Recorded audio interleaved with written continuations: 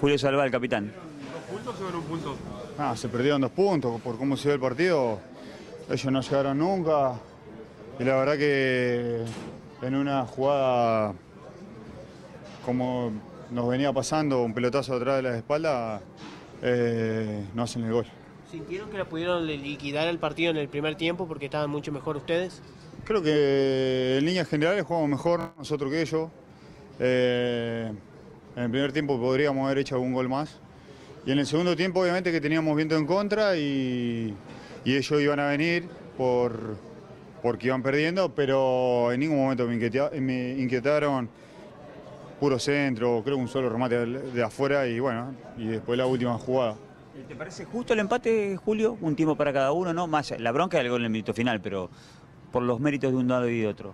Y si te pones si te pones a pensar, eh, el primer tiempo fue muy claro a favor nuestro eh, y donde podríamos haber hecho un gol más. Eh, hicimos un par de pelotas paradas muy buenas. Y el segundo tiempo fue de ellos, del, el balón, digamos, pero sin claridad, ¿no? Como te decía recién, no, no incomodaron, no, no le pegan a largo, nada. Eh, centro nomás, creo que una que salió con el puño ahí abajo, un par de rebotes que quedó bollando, pero una que se fue al lado del pavo. O sea, eh, si había un ganador, tendríamos que haber sido nosotros por lo hecho en el primer tiempo. Julio, la decisión de, de retrasar las líneas fue por el viento, fue por el, el- por el mérito de Quilmes ir a buscarlo, porque si bien en el primer tiempo ustedes le ceden la salida a los centrales, la última línea de ustedes estaba parada más en la mitad de cancha. En el segundo tiempo como que salieron ya a la línea del área. Lo que pasa es que había mucho viento, eso era un factor importante en esta clase de partido cuando el rival se tiene que, tiene que, tiene que hacer un gol, eh, empieza a presionar y a jugar con eso. Intentaban jugar, eh, pero sin mucha profundidad. Creo que estuvo controlado el partido y, y tuvimos alguna, alguna co- contra como, Acertaron la contra. como para poder haber liquidado el partido. Creo que si le hacemos un gol está liquidado el partido.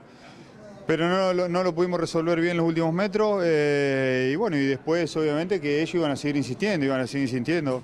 eh, y se encontraron el gol a los 45, 46 minutos. ¿Fue no te reclamaban eso no?